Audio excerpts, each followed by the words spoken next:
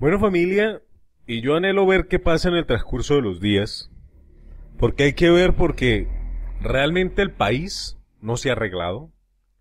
Más del 51% de la población venezolana, y estoy hablando del 51%, dice que en vez de mejorar empeoró.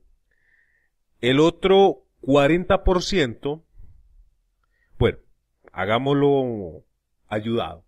El otro 30% se fue del país.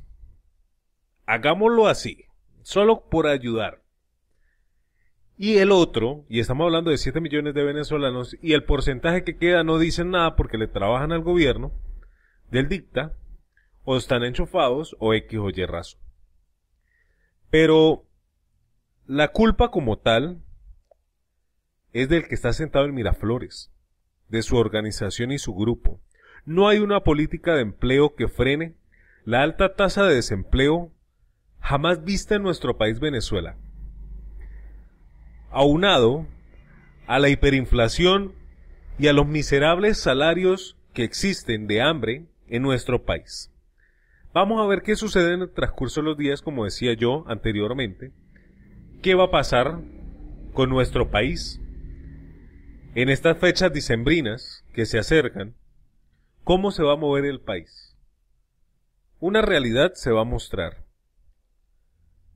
¿Qué sucede? La expectativa sobre la mejora de entorno económico del país se deterioran. De acuerdo con el más reciente estudio, realizado en septiembre, el 51% de los venezolanos señala que su situación económica es peor en comparación con años anteriores, mientras el 45,9% indica que es mejor por banca y negocios. Ahora, de ese 45% debemos sacar una estadística más real porque el 35% o el 30% más, más todavía, porque estamos hablando de 7 millones de venezolanos, han huido del país y todos los días esa, ese conteo va sumándose y va creciendo. Si se desglosa la opinión de la mayoría, el 26,9% de los encuestados señaló que su situación económica es peor cada día. El 14 reconoce que es un poco peor. Estamos hablando de las estadísticas que nos muestran aquí. Pero la realidad que vive el venezolano es otra, más complicada.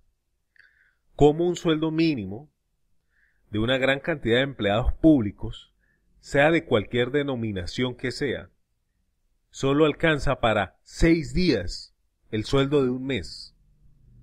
Estamos hablando, ponle de 30 dólares. Pero estoy exagerando porque esa cifra es menos. Menos de 25 dólares al mes. Curiosamente, las sanciones internacionales que representan la excusa del dicta de Miraflores, que ya se lo dejaron clarito que no, el empeoramiento del país encabeza desde el galáctico hasta la actualidad de hoy. De las sanciones solo son para la organización del ilegítimo y cada uno de ellos. Y si ellos le atribuyen esto a la situación del país, están diciendo que ellos están manejando el país con su billetera, que eso es una falacia, una mentira. La billetera es o era PDVSA o cualquier otra empresa que tengan estos personajes. La devaluación aumenta cada día más y el alcance o que alcancen las cosas es cada vez más complicado. Esa es noticia y eso te lo quería compartir a estas horas del día. Espero te guste, lo comparta, lo multiplique, lo extienda. Gracias por llegar hasta este punto. Y si llegaste hasta este punto, es importante que yo te diga algo. Algo que está pasando en estos momentos.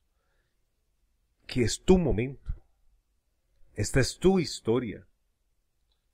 Este es el momento para reflexionar y decidir que hoy soy triunfador, hoy soy triunfadora y que hoy nada ni nadie me puede detener.